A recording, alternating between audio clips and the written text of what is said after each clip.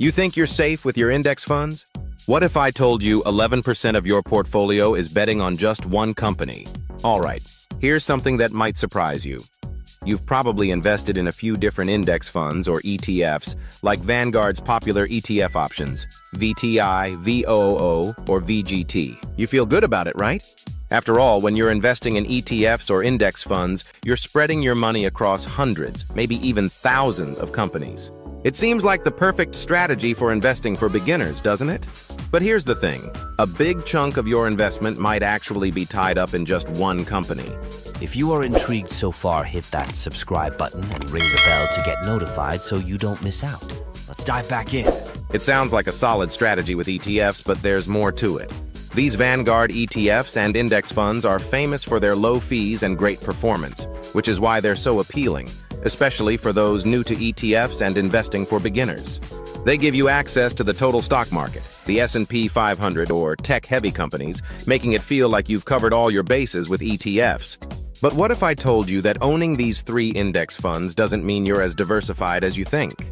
You see, many of the same companies are hiding in each of these ETFs. So, while you think you're spreading your risk by investing in index funds, you're actually doubling or even tripling down on the same companies. For example, Apple, one of the largest companies in the world, makes up over 11% of the total value across these three Vanguard index funds.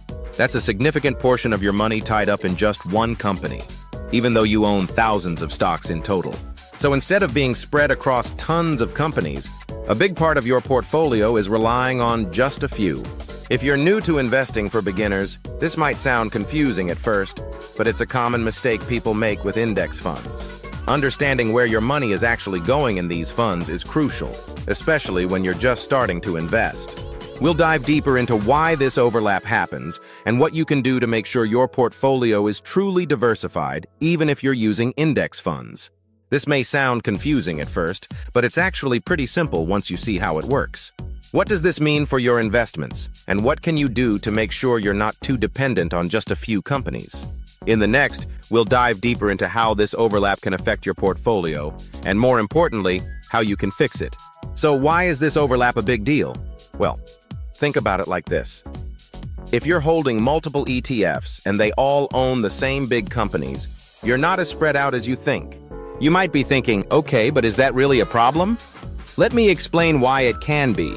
Let's take Vanguard's Total Stock Market ETF, VTI, and the S&P 500 ETF, VOO, as an example. VTI is supposed to give you access to the entire U.S. stock market, big companies, small companies, and everything in between. Meanwhile, VOO focuses just on the top 500 companies. So you might feel like you're covered across the board, right? But here's what's really happening.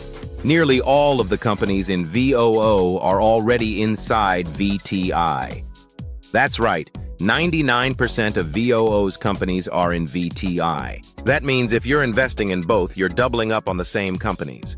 The extra stocks in VTI, they don't make up much of the weight. Most of your money is still tied up in the big companies that make up VOO, but here's where things get even trickier.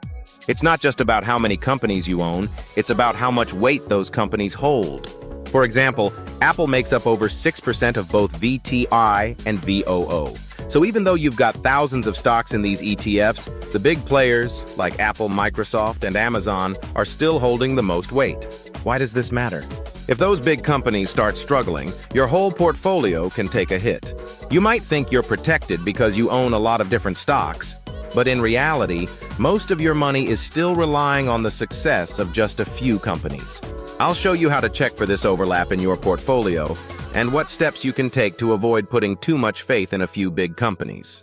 Now that we've talked about why overlap can be a problem, let's dive into how you can actually check for it in your own portfolio. It's not as complicated as it sounds, and once you know where to look, you'll be able to spot it quickly. First, there's a tool you can use called etfrc.com.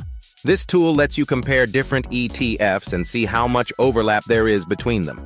Let's say you own both VTI and VOO, two of Vanguard's most popular ETFs. You can plug them into the tool, and it'll show you exactly how much of your money is tied up in the same stocks. What you'll likely find is that the overlap by weight between VTI and VOO is about 86%. That means 86% of your money is invested in the same companies, even though you thought you were spreading it out between thousands of stocks. It's eye-opening when you see it laid out like that, and it makes you realize that just because you own different funds doesn't mean you're actually diversified. Next, let's look at VGT, which focuses on tech companies. If you own both VTI and VGT, you'll see that around 98% of VGT's stocks are already in VTI. But here's the kicker. The overlap by weight is only 26%. Why? Because VGT is heavily concentrated in just a few companies, mainly Apple, Microsoft, and Nvidia. So what does that mean for you? It means that even though you've got exposure to tech in both ETFs, the weight of those companies varies.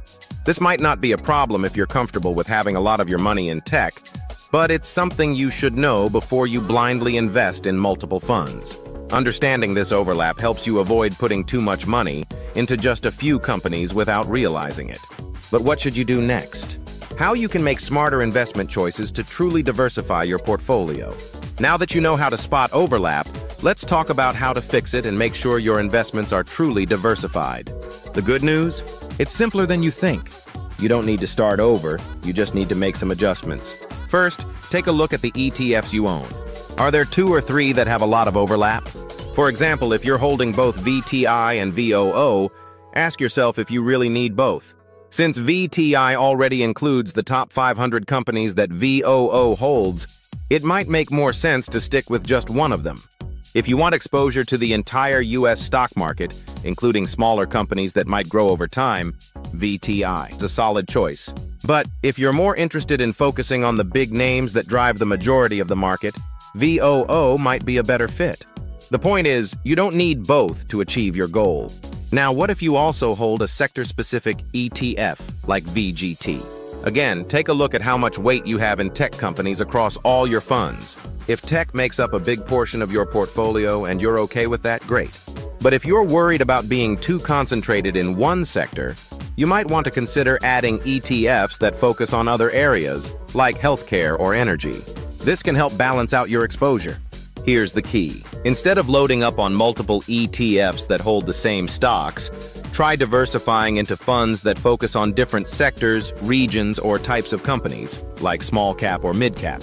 That way, you're not just relying on the same handful of companies to drive your returns. So, here's what you can do right now. Take a look at your portfolio, use a tool like etfrc.com to check for overlap, and make some smart changes to ensure you're spreading your money across truly different investments. It's all about balance, and by doing this, you'll reduce your risk and improve your chances of long-term growth. Now that you've got the tools to fix this common mistake, take a few minutes to review your portfolio. One big question I get all the time is this. I don't have any extra money to invest. I always ask, what's your budget looking like?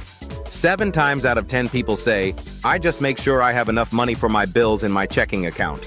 I tell them to watch this video and make a budget and come back to me when you find all that extra money you just found. Check out my budgeting video and find your extra money for investing. And don't forget to drop a comment if you found this helpful or if you have any questions. Make sure to subscribe for more tips on growing and protecting your investments.